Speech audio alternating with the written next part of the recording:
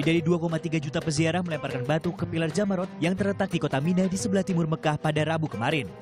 Para jemaah haji melemparkan batu-batu kecil ke tiga tiang yang berada dalam satu tempat bernama Kompleks Jembatan Jumroh di kota Mina.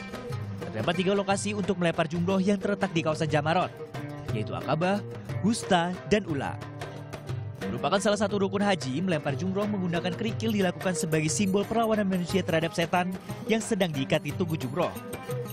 Lancarnya pelaksanaan lempar jumroh pada tahun ini pun mendapat apresiasi dari jemaah haji dari Suriah. والله أول شيء الحمد لله تيسرت معنا الحج بأحسن ما يكون. بصراحة حسيت من أكثر الحجات اللي تيسرت معنا بكثير شغلات كباص وكطلعة وكجمرات وكل شيء. وبالنسبة طبعا لبلدي بتمنى السلام للبلد ويرجع البلد أحسن ما كان.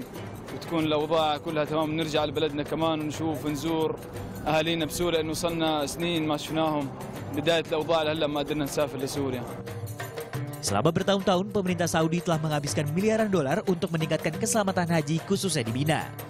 Sebelumnya beberapa insiden paling mematikan telah terjadi, termasuk tragedi penyerbuan haji 2015.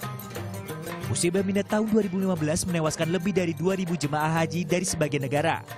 Kuat dugaan mereka tewas akibat terlibat saling desak usai dan akan menunaikan lempar jumroh di Jamarat Minai, Arab Saudi.